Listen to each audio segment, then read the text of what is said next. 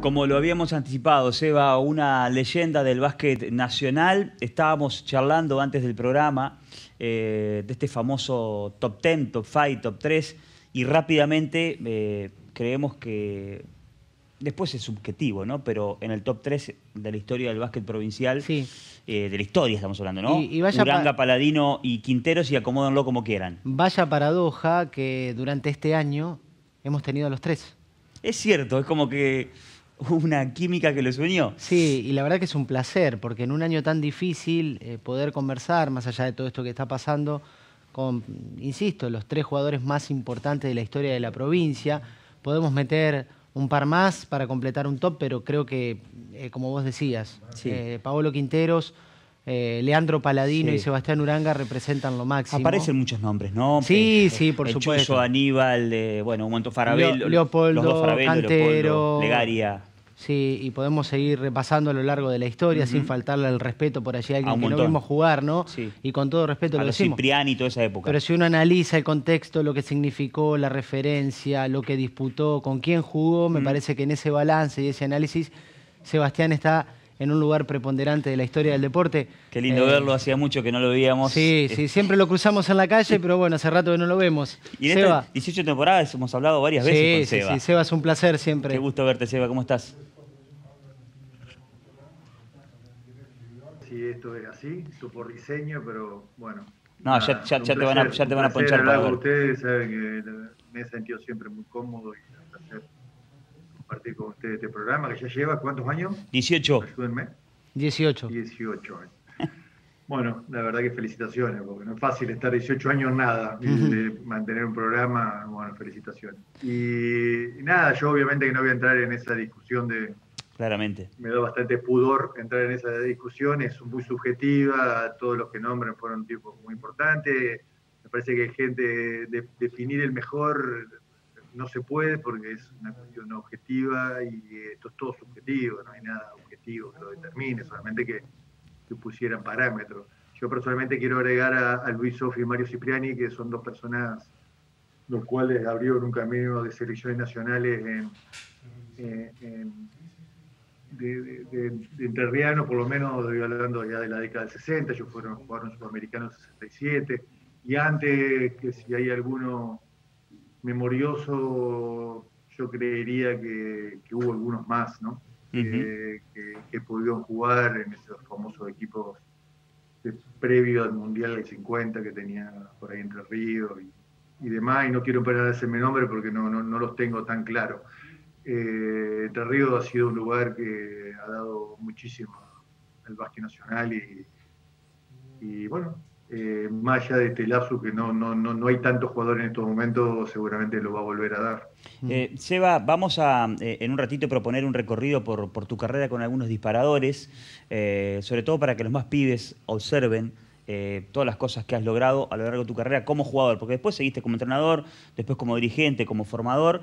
Antes de eso, un re- un resumen breve de qué estás haciendo ahora, Seba, en tu actualidad y dónde estás en la cuarentena. Bueno, yo te renuncié a la Confederación Argentina después de las elecciones del 19 de diciembre, del cambio de mandato, y a partir de ahí, bueno, fue vacaciones y después ya vino la, la cuarentena. Y bueno, preparándome, preparándome para, para la posibilidad que salga, tengo mucho deseo de seguir en la gestión profesional, eh, tanto pública o privada, eh, y bueno, la verdad que cada vez más preparado para, para poder ir al frente de alguna, de alguna organización que así lo desee. ¿no? Más allá de, de tu apellido, Seba, ese compromiso, esa convicción que has tenido a lo largo de tu carrera, independientemente de- del deporte, ¿la heredaste, la fuiste eh, adquiriendo al me- a medida que, que te ibas encontrando con, bueno, con el deporte, con tomar decisiones, con llevar adelante determinados procesos, con ser el capitán? Porque eh, no, es, no es sencillo ocupar ese rol y más aún en un deporte tan competitivo y de tantos jugadores. Yo creo que la- las personas somos seres culturales y cada día incorporamos, modificamos cosas de, nuestra, de nuestro ser y hoy somos producto, en mi caso, de 56 años y una cantidad de meses de vida que llevo. y eh, indudablemente que a mí siempre, siempre me llevó mucho la, atención las cuestiones de política deportiva, de lo que fue mi pasión toda la vida, el deporte, ya haber empezado jugando rugby y después el básquet, el deporte fue algo que siempre fue muy transversal a mi vida. Indudablemente que debe haber cosas hereditarias, en mi, en mi casa hablar de política en general convencional o es, sigue siendo, algo absolutamente normal. Eh, lamentablemente no he podido estar en la faz pública, más allá que me hubiera encantado o que me encantaría poder participar. Pero bueno, nada, preparándome para, para tratar de ser lo mejor y, alimentar esta pasión con mucha perseverancia, con mucha gana y, y creyendo que en este país, cada vez que se hicieron cosas coherentes, personas coherentes hicieron cosas coherentes, siempre se creció hablo en lo particular en el básquet y en el deporte en general, eh, y en el deporte en general. Eh, Seba, ¿ahora nos ves bien en la transmisión? ¿Nos no, lo veo, lo veo, lo veo. Perfecto. Bueno, empezamos. No sé si prefiero verlo o no, pero eso, es, eso es otro detalle. eso también es, subjetivo, Seba, eso también. eh, A mí, por suerte, están estas líneas que me me tapan un poco la cara, pero después está todo bien. Eh, estamos igual que hace 18 años, Seba. Eh, igual, estamos, pintados.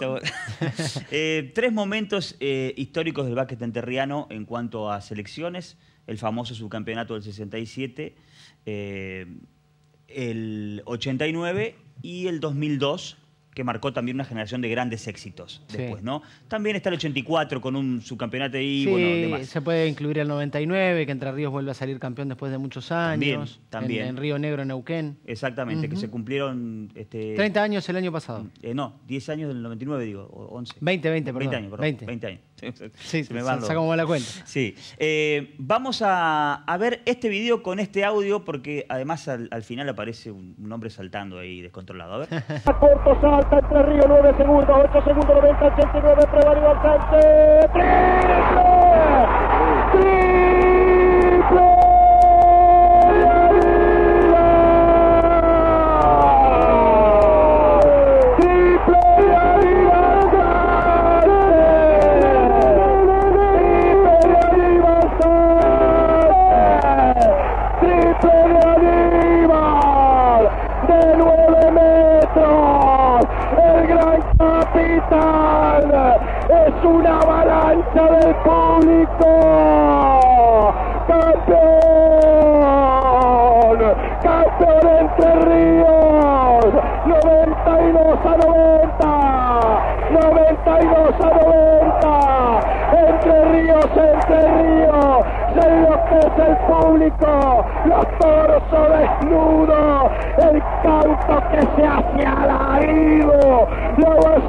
De y el gran capitán que no podía fallar en su euro, la noche de Aníbal Sánchez, de nueve metros Aníbal, Aníbal.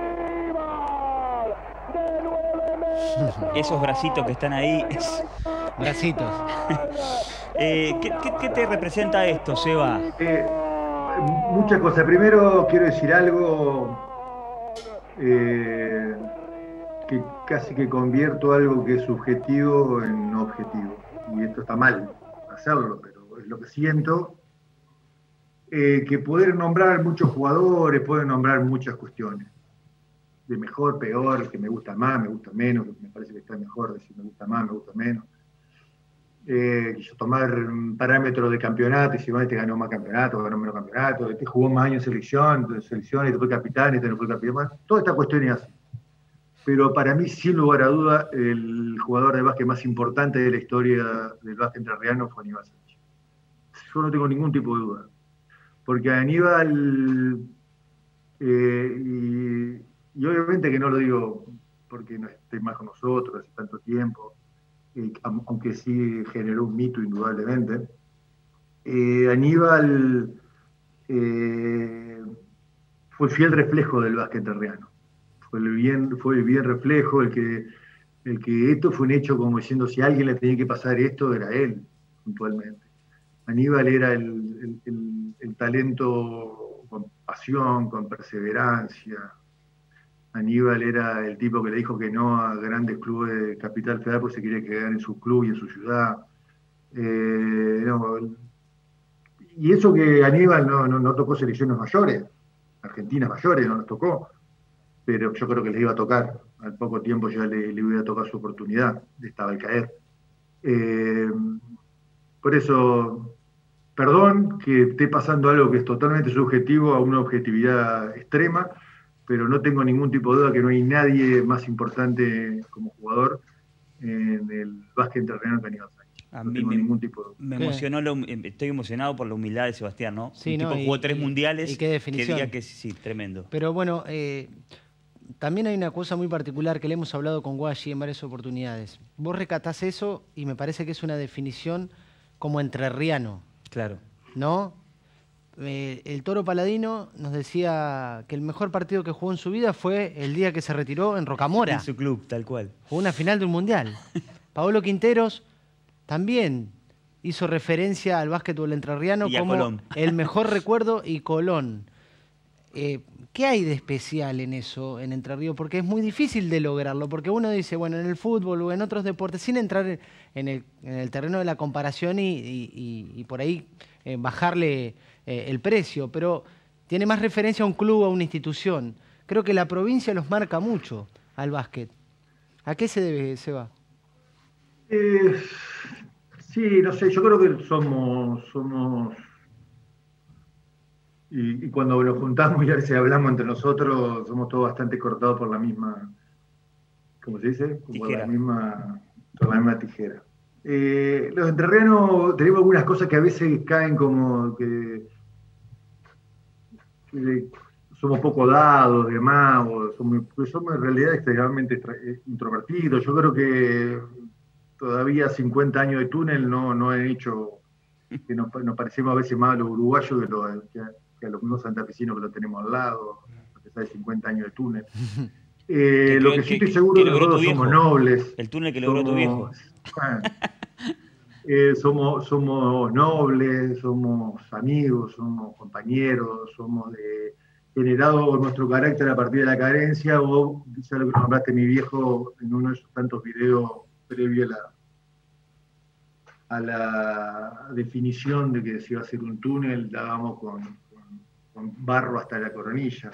Y, todas esas cuestiones creo que nos han forjado un carácter muy particular. Es más, de quien lea un poquito de historia y lee la importancia que tuvo Entre Ríos y toda la, la banda oriental, sería. Eh, habla de un carácter muy particular, sin entrar en, en ningún detalle patriota particular. Eh, entonces, me parece que, claro que nosotros las cosas que vivimos. Fíjate, el 67, el 67, dicen, yo tenía solamente tres años, con un recreativo la cancha de afuera con 10.000 personas, dicen. Era un grupo de jugadores todos que jugaban en la Asociación Paranaense. El equipo del 84, que no salió campeón, pero llegó a la final en Misiones era un equipo con 11 jugadores que jugaban en Ríos, 10 o 11 jugadores que jugaban en, ese momento en Paraná y demás. Ya el del, el del 89 ya un equipo de todos entrerrianos, y lo digo así porque muchas veces vinieron después selecciones que eran mitad y mitad y no, no tengo nada contra eso, ¿no? Eh, a donde la lucha y la desventaja o la pelea era permanente desde, desde todo el punto de vista, de la logística, desde la recursos humanos, todo Entonces, ¿cómo no te va a forjar el carácter y cómo esa emoción es un es algo que agranda aún más ese momento histórico? Por eso a mí me llama la atención que, con todo lo que es pala para el toro para, para Rocamora, haber jugado su último partido para su club, con todo ese marco como habrá estado y, demás, ¿cómo no va a ser algo que guarda probablemente, aunque parezca una locura, más que haber salido su campeón Em, bueno, con la locura que sí, hace sí, mundo, ¿no? Sí, sí, claro. porque, en realidad, porque en realidad a mí me pasa, y ya de viejito como estoy, y, en esto que agradezco a todos, a ustedes también, en esta pandemia ha servido para que nos mimen bastante. Eh, uno no recuerda los triunfos, más eh, cuesta acordarse de los campeonatos ganados, cuesta un poco, ¿eh? porque yo estoy convencido que el ganar eh, genera paz. Eh, la alegría es absolutamente efímera, es casi inexistente. Y cuando uno recuerda qué es lo que desearía volver a vivir, es el día a día. El, grupo, querer ir a jugar al básquet al día siguiente, es la pelea. Recordar, hablando mal y pronto, recordar hasta los quilombos. O sea, recuerda mucho el día a día, el de me voy a dormir, me levanto, voy a entrenar, estoy con mis amigos, vuelvo a la tarde nuevamente. Eh, eso es lo que más, eso es lo que a uno realmente extraña. No extraña tanto el tema de los campeonatos más. Yo sé que para muchos le puede parecer una locura lo que estoy diciendo, pero nada, eso, los triunfos quedan en un baúl que algunas veces se abre, se los mira un poquito o alguien te lo hace acordar. Eh, sí, alguna, alguna vez Sebastián Esbetliza me dijo que eh, me dice, salimos campeones, es la nota de todo el equipo después, que salen los dos diarios y se terminó. Y se terminó. Y, vos decís, hiciste semejante esfuerzo para que salí campeón la nota y se terminó. Dice. Entonces, como dice Sebastián, si no aprendes a disfrutar del proceso, es como que el campeonato termina siendo un alivio y te sacas un peso encima. bueno, salís campeón. es, la paz, como el, haber cumplido. Mm. El sentimiento como el haber cumplido. Eh, no más que eso. Quiero resaltar el relato de Fernando Enrique Páez. El grupo de trabajo de Cayo Camargo estaba en ese, en ese partido haciendo campo de juego. Le saludo a su familia, a la memoria de Cayo, mm, eh, fallecido recientemente. Eh, también la locura, porque ese partido, ese después jugaron un segundo más, porque tuvo que. la gente salió impensado hoy, con la gente al costado de la cancha parada, impensado hoy, ¿no? Bueno, hermoso, eh, hermoso, divino. Eh, un recuerdo más, a ver qué nos proponen desde producción para Seba Uranga. Tres mundiales, a ver con qué vamos.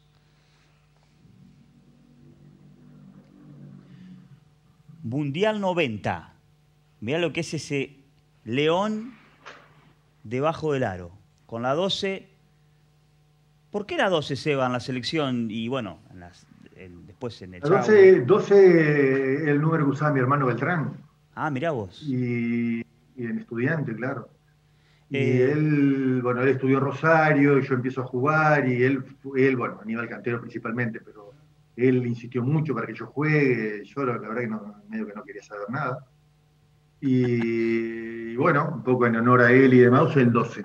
Y en la selección usé siempre, exceptuando yo llevaba dos o tres años de selección y hay un torneo, o no me acuerdo si un torneo, un par de amistosos que juega el Toda Caixa. Y el Toda Caixa, que era el famoso 12 de la selección argentina. Claro, de San Andrés. Yo lo primero que hice ahí, lo primero que hice cuando llegamos y nos juntamos, le digo, no, la 12 es tuya, dame cualquier otro.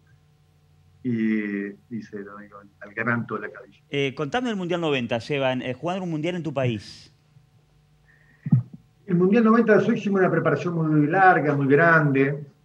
Nosotros hicimos una gira Europa extensa y la verdad que estábamos jugando un nivel increíble y, ganamos un torneo que en ese momento era oficial de Estiva en, Grecia, en Atenas, el torneo Acrópolis, con un jugador sublime que pintaba, no digo para ser el mejor jugador del mundial, pero eh, no iba a estar lejos, que era Pichi Campana. 48 horas antes de. y teníamos una gran dependencia con él, ¿eh? Ese fue el torneo, ¿se acuerdan? Que en la liga Pichi termina como con 40 de promedio, 60 y pico en un partido. Pichi estaba en un momento eh, de, lucimiento extraordinario. Y, al venir acá, Juan una amistoso faltando 48 horas para el Mundial y él se lesiona. Se lesiona con un tobillo grado 3, que solamente su coraje hizo que pueda jugar a partir, creo que del segundo o tercer partido y nos costó muchísimo. Mm. Y el equipo no, y aparte vivió una situación de tensión extrema, nada, nada, lo justifica. Entonces, a pesar de haber estado entre los ocho, que para ese momento era un momento, para ese momento y para ahora también, eh, es algo muy importante, es un objetivo siempre buscado. Eh, no quedamos conformes, creíamos que podríamos haberlo hecho mucho mejor. Pero bueno, el seguimiento de la gente, tanto en, en Córdoba, la fase regular, y la fase final en el Luna Par fue impresionante el apoyo de la gente. Y es el día de hoy que, que la gente te para para, para acordar, acordándose de eso. Y, y tiene un hecho impresionante. ese mundial. Que gana Yugoslavia, ustedes miran ¿no? bien en Con- con detalle. Kukoc, con Divac. usted- Lo gana, sí, Petrovic. Claro, el- la, la base del famosa película, la película esa de la pelea entre los serbios y los croatas. Exacto. Y mm, ese, pero tiene un hecho que, que no sé si ustedes sabían. A ver. Si ustedes miran bien esos partidos, miren los rincones, o atrás del aro o en los rincones, y hay un jugador que después hizo algo por la selección que alcanza pelota. Ah, no sabía. ¿Quién está al alcance ¿Quién pelotas estaba? ahí? ¿Escola? Es Luis Escola. Escola. Ah, mira. Luis Escola con Escola. 10 años. bueno, tenía Le voy, contar, le voy a contar una anécdota personal, no me gusta mucho contar anécdotas personales. no- A, a nosotros nos encanta Yo a escucharlo. Luis no lo conocía, yo a Luis no lo conocía. Me ha pasado años y años ahí y no lo conocía. Es más, un día Mario, el padre, eh, viene y me dice, estoy con Luis acá el teléfono, eh, dice, acá está, dice, y Luis le dice al padre, estábamos los tres, ¿no? Le puso en, altavoz, y le dice, no, no, pero yo no, tampoco, no lo conozco personalmente a él porque no- nunca jugamos en contra y me fui. Pero yo sí lo conoce, me, me dice él. Yo sí lo conozco. Él no se acuerda, pero yo sí lo conozco. Y dice, ¿por qué? Dice, pues yo alcanzaba pelota en el mundial y él me hablaba cada vez que, me decía algo. y que sé. Eh, ahí Sí. un crack, un crack eh, ahí dándole con sí, porque yo era reclutador ya de esa época, ya sabía que se iba a jugar bien. Los dos Eh, bueno, de ferro. eh, Ese es hermoso para escribir una, una- una historia, ¿no? El, sí. capi- el capitán que vio al capitán. ¿Vos sabés que vi un videito de, de Escola acercándose? Después lo voy a buscar a ver para, para verlo. Eh, próximo recuerdo, cuatro años antes, Eva. Así es. Otro Vamos mundial. A ver. Vamos a repasar. Otro hito. Hernán Montenegro. Y Facardo es el árbitro de España que envió la pelota al aire. Vamos a ir con las primeras acciones entonces. Pelota en poder del equipo de Estados Unidos. Precisamente hay un lanzamiento que termina en doble de McKee. Está ganando 2 a 0, se abrió la cuenta para el equipo de los Estados Unidos. Argentina viene en la réplica. Cortijo. Camisaza. Cortijo. Se asiste en Romano. A ver si busca posiciones de tres. Desesperado el equipo de Estados Unidos. 72 Argentina. 70 Estados Unidos. Allí se están abrazando Montenegro y Camisaza. No, y Aspurúa.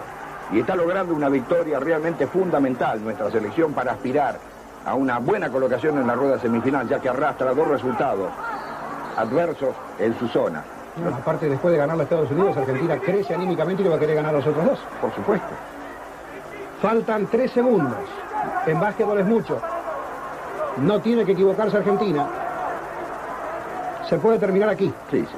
Si hay en en los lanzamientos. efectividad en los lanzamientos, el partido se terminó. Va a venir el primer intento. Se concentra. Hay Furuda primero. Simple para Argentina. Si concreta el segundo, sobran los tres segundos. Correcto. 73 a 70. Se lo puede dejar tirar triple. nomás. Puede definir el Vasco Aipurúa. Allí está con zurda en el aire. Simple y se terminó. Ya está la victoria para La Argentina. hazaña está lograda. 74 Argentina, 70 Estados Unidos. Faltan tres segundos. Dijimos que no era imposible. Allí está, ataca Argentina. Camisaza. Y es el final. Final. Y es el final. 74 Argentina. 70 Estados Unidos y Prietos allí. Se abrazan los hombres de Argentina. Es legítima, es merecida la victoria. No es casualidad ni suerte. Manejó el partido Argentina a lo largo de todo el juego. Y aquí, Oscar, yo quiero ser honesto contigo, porque yo no tenía la misma confianza. Cuando nos despedimos hace tres días y hablábamos de las pases Un festejo histórico. Porque antes de aquel famoso, aquella famosa victoria con el Dream Team, contra el Dream Team Sí. que vivíamos con Toro Paladino, estuvo este Argentina-Estados Unidos. ¿Qué tenés que decir de aquel partido, Seba? Bueno, Argentina le ha ganado muchas veces oficialmente a Estados Unidos. Hay que reconocerlo. Sí, que 50, lo de ni los hablar. pibes- Lo de, los, lo de los pibes en el 2002 eh, le ganan la, todo NBA. No es comparable. Eh, ¿qué, qué puedo decir de ese partido? Que decir cómo hay que jugar en contra de Estados Unidos, decir cómo hay que jugar en la hora de agarrar fibrón y pizarrón, es fácil. Tener que controlar el juego, pocas posesiones, que no corran el campo, que te jueguen en cuartos de campo, ¿no? Es fácil.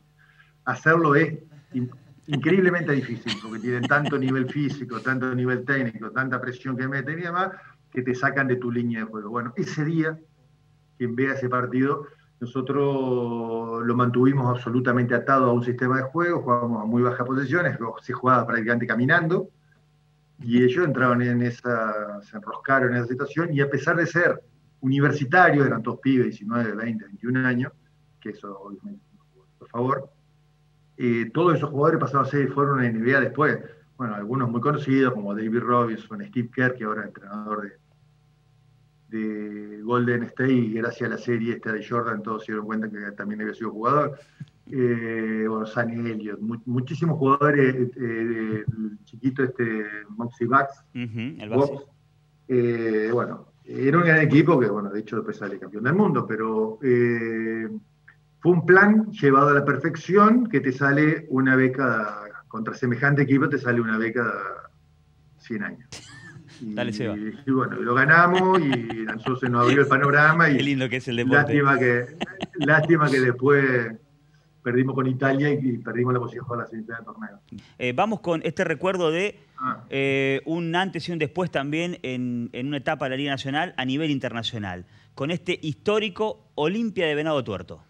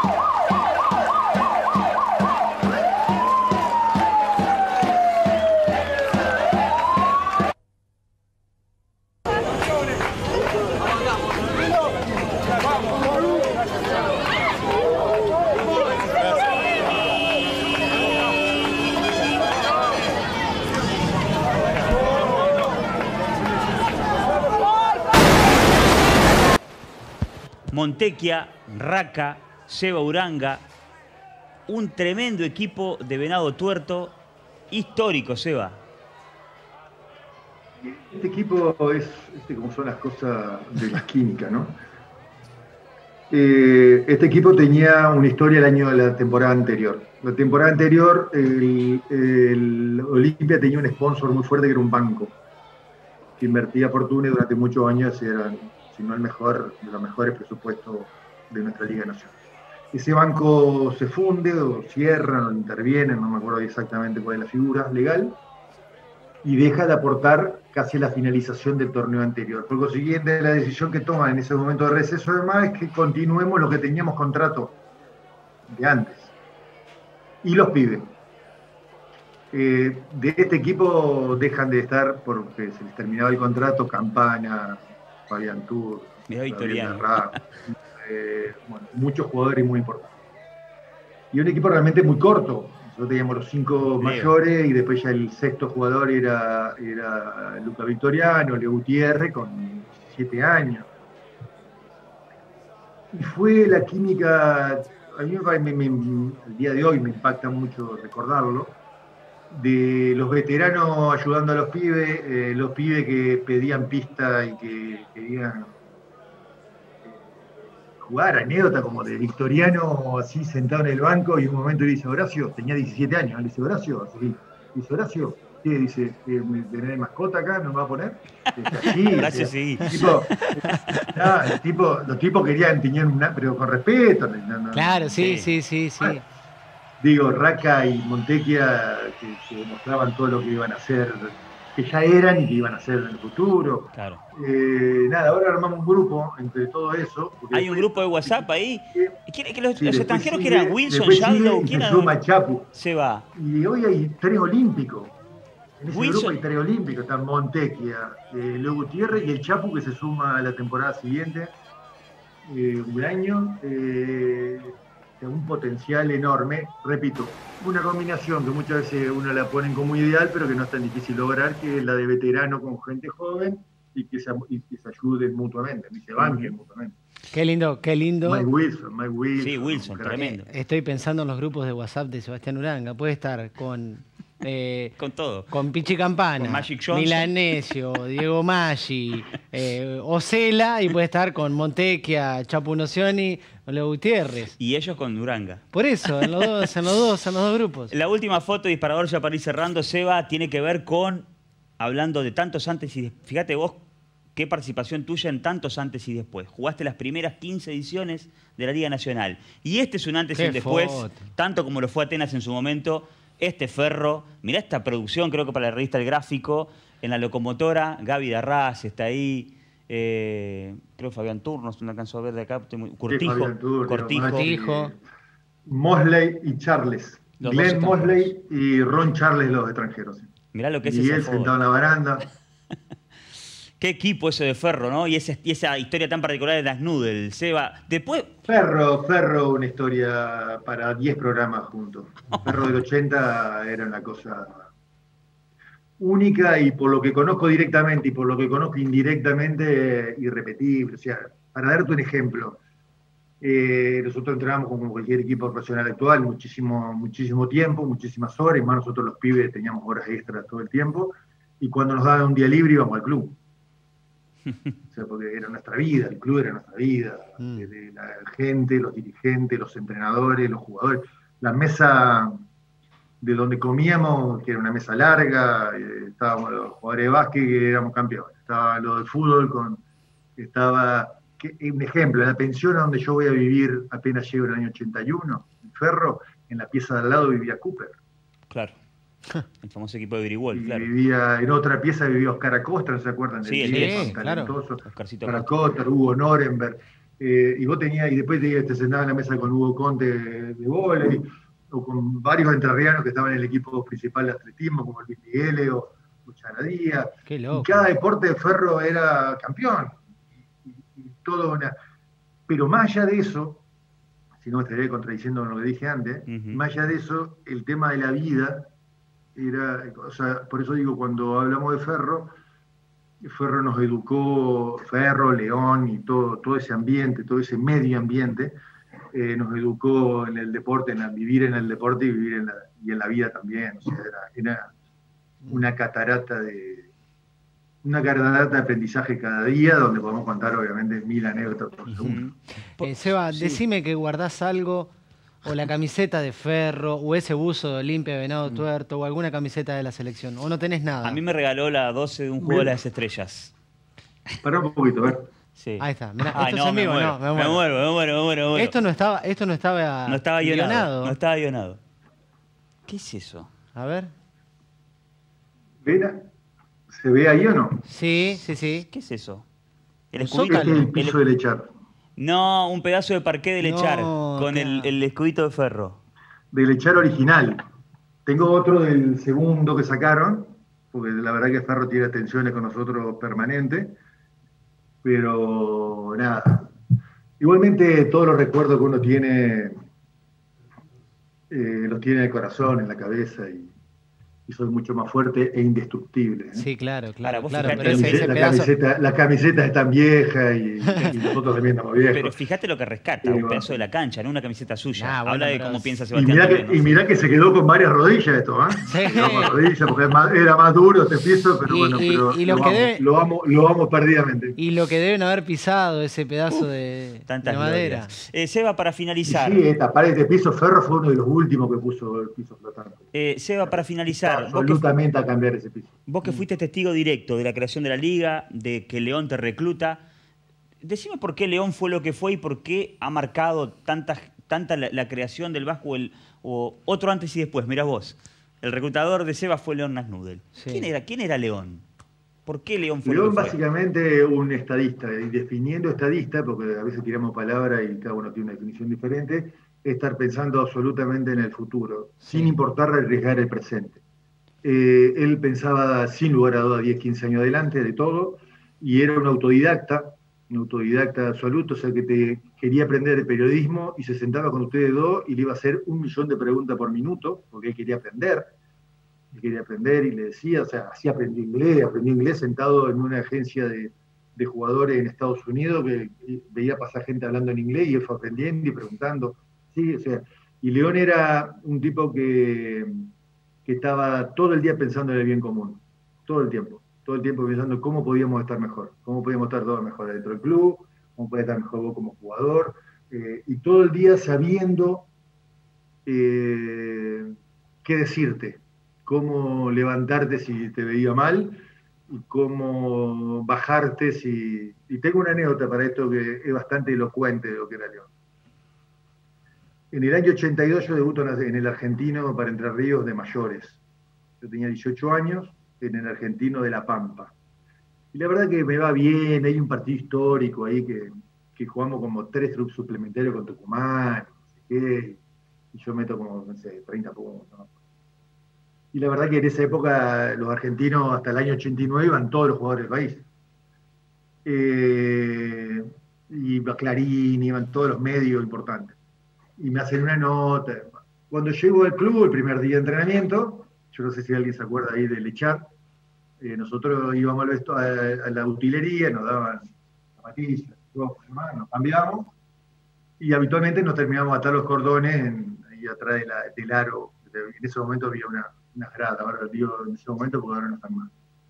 Eh, y yo estaba así, atándome los cordones, como cualquier persona, agachado, mirando el piso, atándome los cordones, y en un momento veo que se me, para, se me paran, sin decir hola, ¿eh? se me paran dos zapatitos delante mío. Empecé a seguir el recorrido del zapato hacia arriba, y era León. Dice, al 82, yo 18 años. Me dice, yo soy gordo, ¿no? Le digo, y, sí, no, no me salían palabras, obviamente. Eh, sí, sí, sí, me dice, yo soy gordo. Dice, yo soy petizo, ¿no? Eh, claro, yo tenía terror, ¿qué le iba a decir? Dice, sí, sí, yo soy petizo. Te quiero decir que si yo tuviera lo que vos te falta, estaría jugando la NBA. Pegó media vuelta y se fue. Ni hola, me dijo. El tipo, este, este pibe quiere venir agrandado acá, le doy un sablazo, lo mando en la tierra otra vez y arrancamos. O sea, León era todo, León era todo, era un crack dentro de la cancha, era un crack afuera de la cancha. La verdad, la verdad, realmente el básquet argentino ha perdido algo.